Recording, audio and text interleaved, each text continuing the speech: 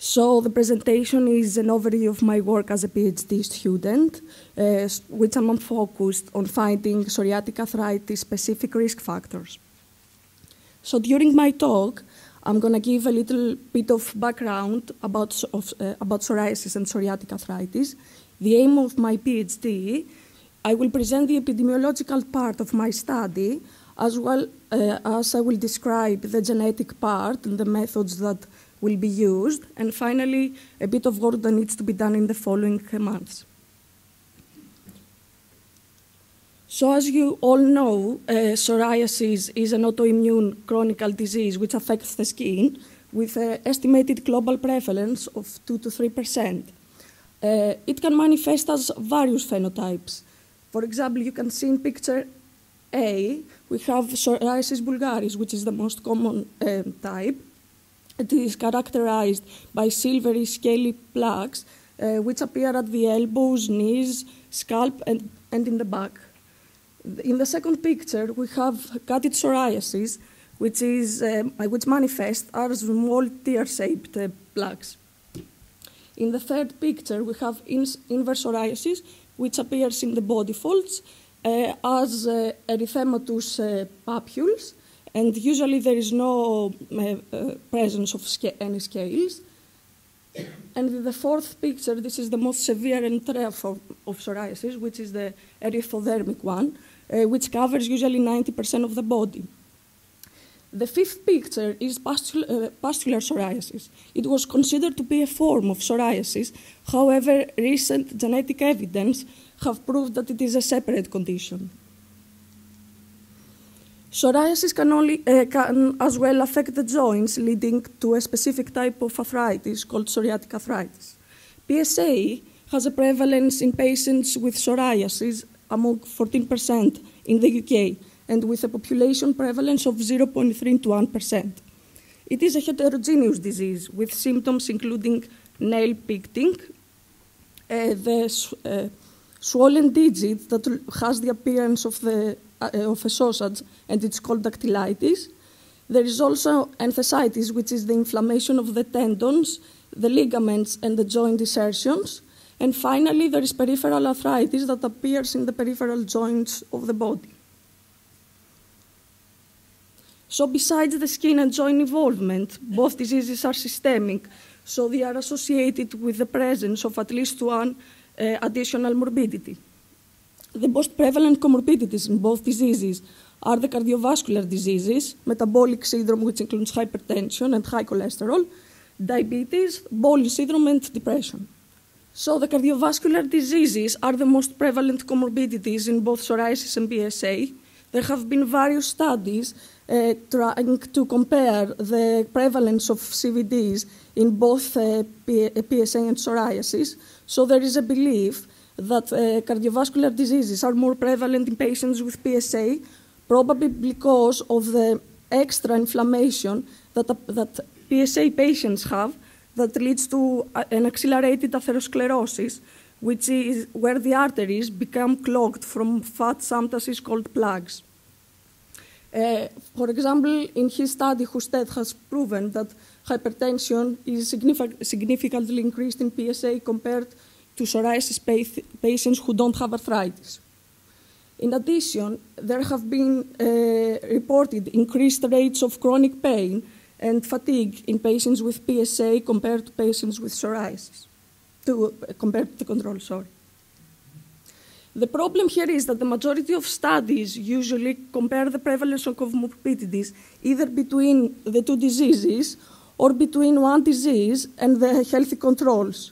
So you cannot be sure whether the prevalence of a comorbidity in PSA it is because is because of the presence of psoriasis or bef- uh, because of the increased inflammation that this patient have. So we will address uh, this uh, specific point in our study that we'll, I will describe later. Both, diseases are complex diseases, which mean that they are influenced by the patient's genetic predisposition and the impact on environmental lifestyle factors. The term liability is used to describe the overall genetic and environmental factors that contribute to the onset of a disease. For, uh, uh, liability is, excuse me, uh, it is normally distributed and it has this bell-shaped form. So whenever a patient gathers enough liability and reaches this threshold point, the disease will be uh, developed. Regarding the environmental factors, there have been a few studies trying to find which, are, which contribute to the development of both diseases. However, uh, the results usually are conflicted, uh, potentially because of the small sample sizes that these studies have and don't give us the, enough power to find significant results. So the lifestyle factors that uh, probably contribute to both diseases are obesity, smoking and alcohol consumption, stress, trauma, and infections. So it has been proven that both diseases have a strong genetic component. Uh, however, aggregation studies have shown that PSA has a heavier genetic burden. These uh, familial aggregation studies uh, determine whether having diseased relatives increases someone's likelihood of developing the specific disease. Uh, as we can see in this table, PSA has the largest sibling recurrence risk ratio compared to the other autoimmune diseases and psoriasis. This suggests that there are PSA, uh, uh, there are regions in the genome that contribute to the development of, of PSA and not to psoriasis.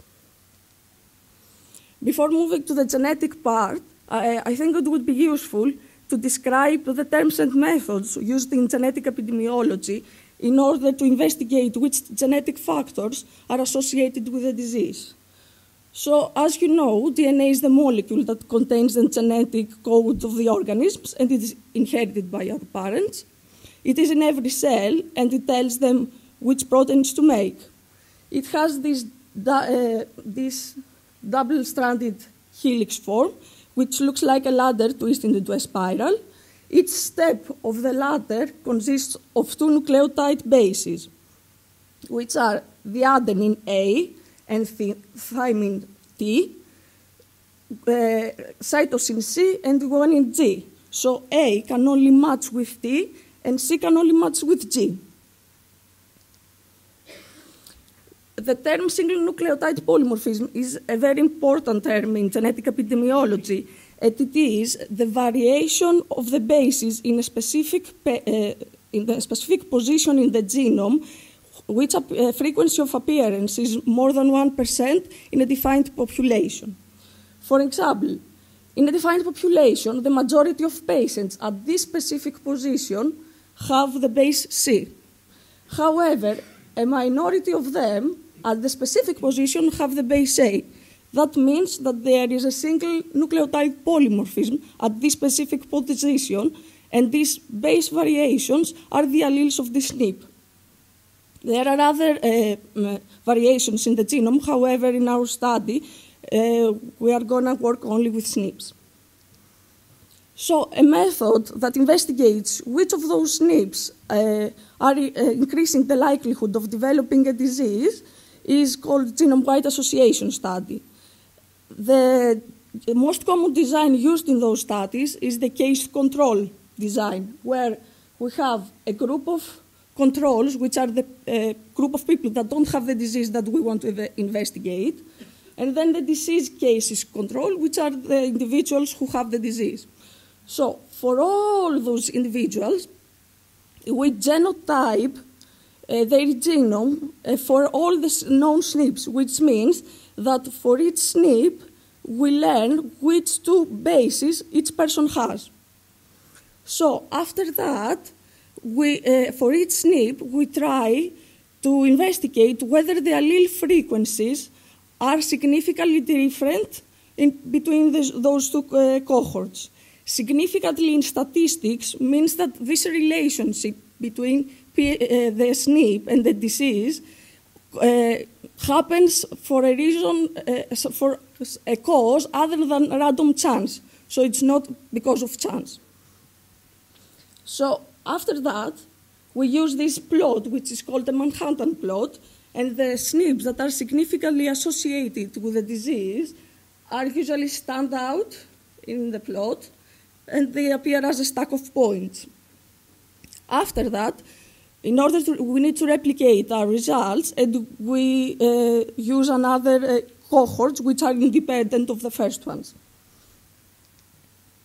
So by 2016, there have been 27 psoriasis susceptibility genes that have been identified in both white and Chinese population, elucidating the SNPs that underline the pathways that uh, cause the pathogenesis of psoriasis. The majority of SNPs fell into immune-related pathways and the skin barrier function, and the most significant genes appear in the major histocompatibility complex, the MHC, which is a group of genes which code for proteins who help the immune system uh, to distinguish the, uh, the foreign substances in the organism. So the strongest association is with the HLA-C06, which helps with the antigen presentation in the T lymphocytes. And outside this complex, there have been many diseases found. Some of them are these ones. In the case of uh, psoriasis, there have been a limited genetic research compared to the other types of arthritis, including rheumatoid arthritis. This is because there have been difficulty to establish classification criteria for psoriasis.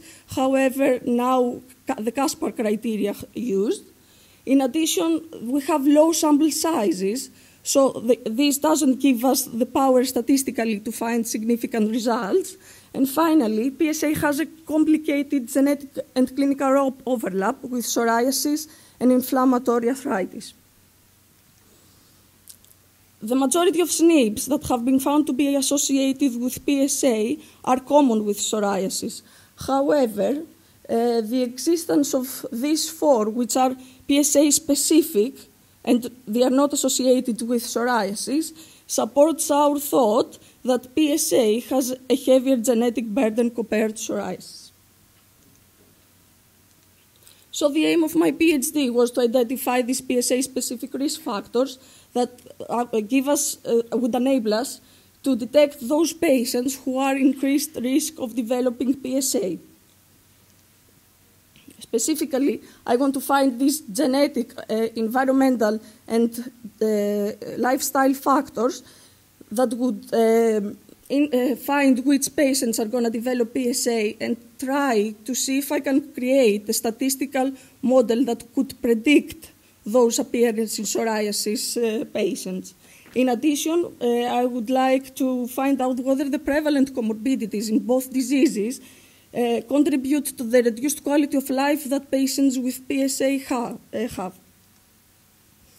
So, for the epidemiological part of my study, we used data from the UK Biobank, which I'm going to describe in the next slide, and we aimed to, to assess the environmental and lifestyle factors that are associated with the prevalence of PSA and psoriasis without arthritis.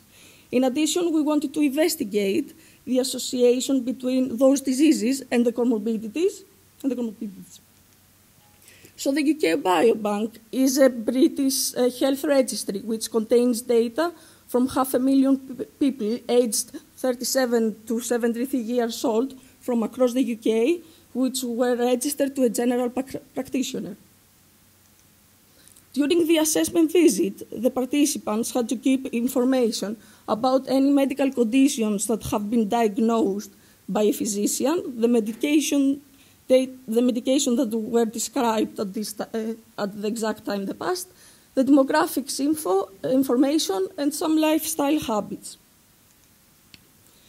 The design that we used for our study is a cross-sectional one, which means that we compare uh, groups uh, of population in a specific and single point in time, which means that we cannot consider what has happened before or after that. For example, we cannot be sure whether someone who has cardiovascular disease developed this disease before developing PSA or after. So these studies are used not to um, to find the causality, but to give associations, which comorbidities or environmental factors are associated with the disease. So the lifestyle factors that were included in the analysis were found during the touchscreen questionnaire that participants Uh, had to fill, and they are the Townsend Deprivation Index, which is an index about the deprivation of the area that the participants live, currently live, the BMI, smoking status, the alcohol frequency consumption, and physical trauma or injury. In the, the comorbidities, we included uh, some uh, cardiovascular ones, heart attack, angina, and stroke, a metabolic syndrome, which is hypertension and high cholesterol. We checked about diabetes, liver, gastrointestinal, and pulmonary disease, chronic depression, and finally fatigue and chronic pain.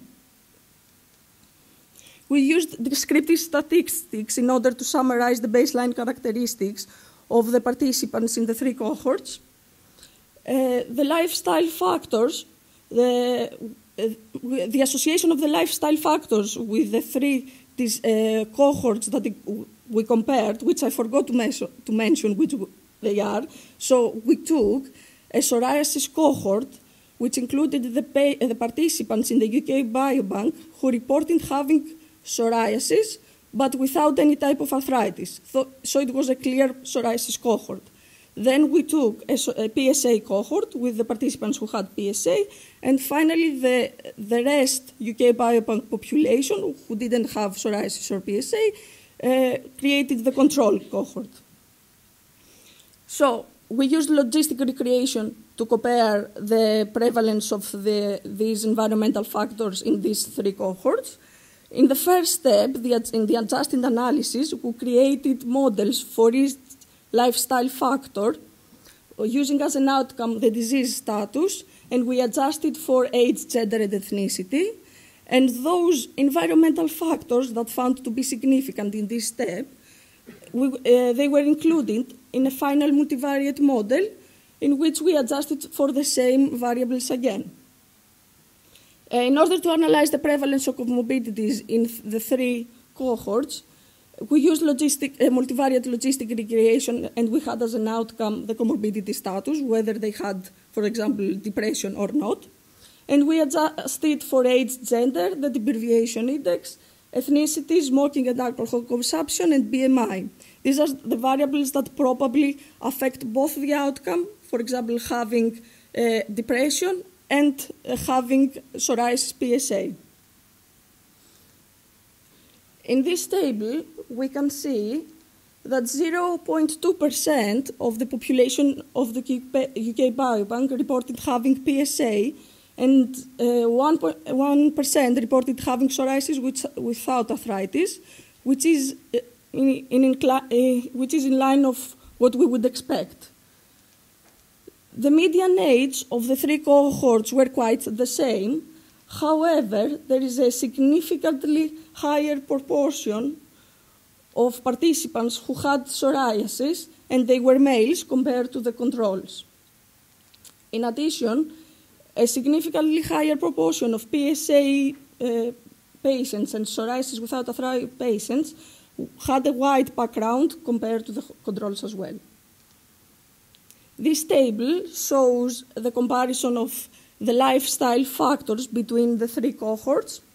The OR means the odds, the odds ratio, which is the, the odds of having a disease uh, at a certain exposure compared to, to the odds of this disease occurring without this exposure. So when we have an OR over 1, means that there is increased odds of this disease under the specific exposure. The numbers in the square brackets is the 95% confidence interval, which is a measurement tool used that we use to see how precise the OR is, and it is like a proxy to see if the result is significant. So if the range does not include one, means that the result is significant. As we can see, BMI was associated with an increased odds of PSA compared to psoriasis without arthritis. However, the smoking status and alcohol consumption status was associated with decreased odds of PSA compared to psoriasis. At this point, I would like to talk about this relationship between smoking and PSA.